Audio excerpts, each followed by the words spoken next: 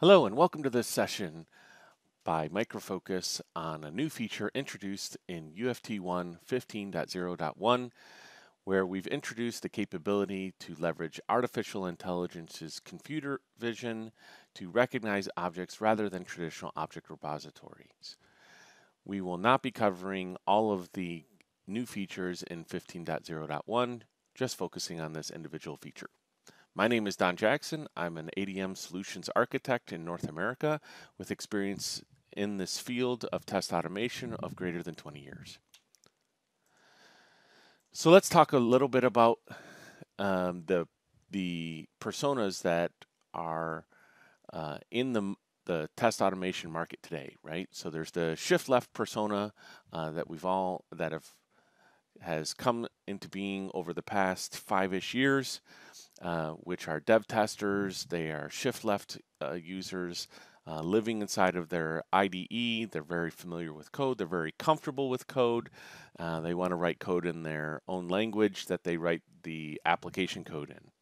Then there's the, the middle guy uh, who is a test automation engineer, very familiar with test automation over the past 20 ish years, uh, familiar with building frameworks, uh, familiar with uh, the code uh, that the test automation uh, application leverages for its test automation in the case of UFT One VB script. And then there's the shift right uh, persona, which is really a business analyst or domain user. Uh, and they are uh, afraid of tests, uh, not afraid of tests, but afraid of code. They uh, focus on the business process and understand the business process and the workflows, and uh, they need to be able to contribute to coverage. So the challenges in test automation is uh, the pace of applications uh, are very, very fast now and are getting faster uh, with the adoption and transformation into, into a DevOps culture. There is the challenge of low automation coverage because of a skills barrier. And then there's also a challenge of high maintenance costs. We have customers who, uh, on average, customers say that they spend about 40% of their time for test automation on maintaining existing assets. Uh, so the ability to move the needle and increase test coverage is is uh, is uh, very much reduced by uh, having to focus on maintenance.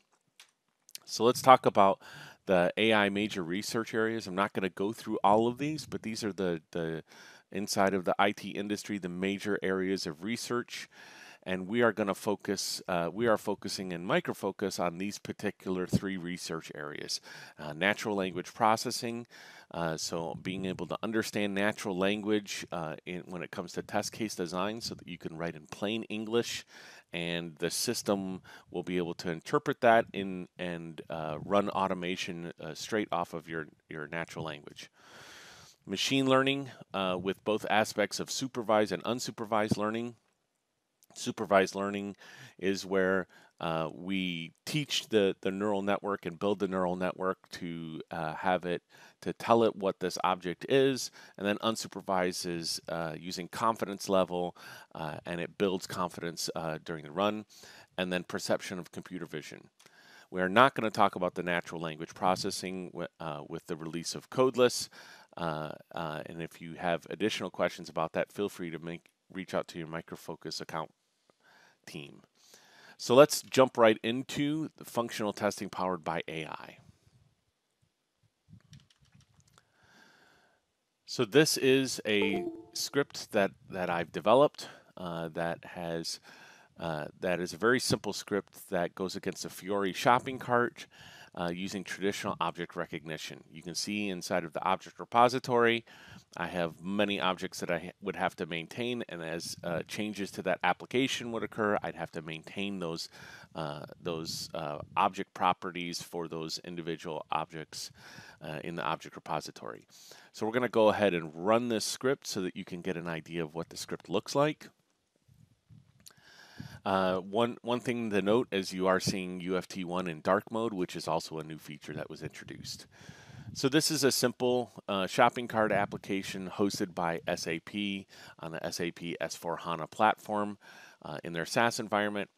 And it clicks on laptops, uh, clicks on the first laptop, then the second one, adds it to the cart, verifies it's in the cart, deletes it from the cart, and then goes back to the starting point because it's always a good idea to start and stop your uh, your test at the exact same point so that it can iterate.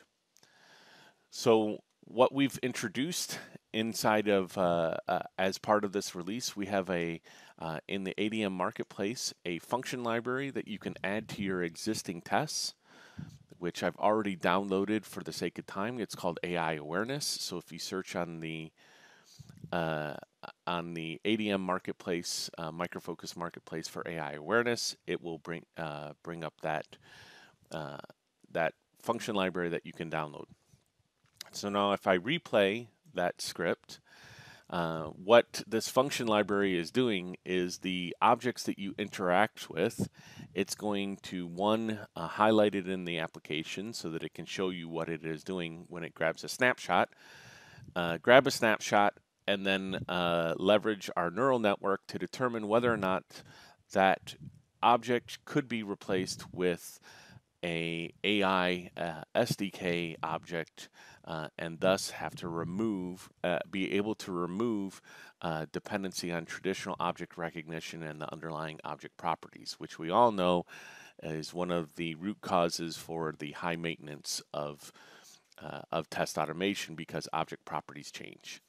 So you can see it does, uh, uh, you need to be aware that this function library will slow down the execution of your script because it's got to do all this extra work and it's writing it out to the uh, to the report. So uh, be aware of that when you are uh, leveraging this asset. And it's uh, just completing now, and uh, as it finishes, we will bring up the report so you can see what this looks like. So if I bring up the last run resort, results, you can see that there are custom AI actions here that tell you uh, uh, some wonderful information. So uh, in my script, I have a command called uh, web element laptops object click. And it is uh, this object right here. Here's the picture of what it looks like. And it could be replaced with AI util find text by block laptops. So I could go into my script and I could replace this statement right here with this statement with a dot click and comment that out. And if this is working, then I could also go in and, and update my object repository to no longer uh, contain that object if that's the only place that I'm using that object. Now, if I go through and do that for all of the uh, all of the items on the report, this is what this script ends up looking like. And if I clean up my object repository, this is what my object repository looks like. As you can see, it's empty. It only has the root shopping cart uh, browser. It doesn't have anything else uh, underneath it anymore. And if I run this, uh, you can see it run that same business process against the, uh, the Fiori shopping cart application. So we're going to just let this run real quick and you'll see it's going to click on laptops. One thing to note um, is that uh, the execution uh, of an AI-driven script is slightly slower than traditional object repository because it is scanning the entire screen looking for the object as you've defined it uh, and leveraging that neural network. Um, but as you can also see from the demonstration here, is that the uh, the uh, amount of overhead from a time perspective uh, is far outweighed by the benefits of not having to maintain your uh, object repository. And this is now wrapping up. Uh, the last step of the of the script here is to collapse the, the shopping cart, uh, which it's about to do here shortly. And that's the end of the script and UFT One is going to come back into focus. We can look at the last run results and you can see now in my run results, instead of having my traditional web element click, I've now got this find by text block laptops click. And one of the things that you'll note is that rather than uh, the individual little object, it's actually showing you the entire screen of what uh, what was displayed to the user and where it found it and highlighting it with a confidence level on that as well. So just to summarize, uh, the test automation challenges that we had earlier right? So how does uh, how do we address those here at Micro Focus? Um, we have increased reliability because as you make changes to the uh, to the application, as long as visually it's still recognized, uh, for example, uh, the laptops is still laptops. Uh, it doesn't matter what the HTML tag underneath it is or uh, the XPath, if you're comparing that to Selenium changes, doesn't matter, it's still going to be recognized. We didn't really talk about uh, the skills barrier uh, with Codeless. Uh, that's something for a separate session if, and contact your Micro Focus account team if you'd like to see that. And then we address the high maintenance cost because we're reducing that maintenance uh, with uh, being able to recognize the objects visually. One huge benefit of that is when you look at it in a mobile context, uh, being able to recognize visually, uh, it will recognize on an iOS and an Android device, which have completely different properties from an object repository's perspective. It will recognize those objects as the same objects, and you can have a single script uh, across multiple platforms. Additionally, if your application is is built so that it uh, has the same flow on a mobile device and a desktop browser, uh, you could have a single script that does desktop browser and mobile devices. Thanks for taking the time today, and as I stated, if you have additional questions, feel free to reach out to your Micro Focus account team. Have a great day.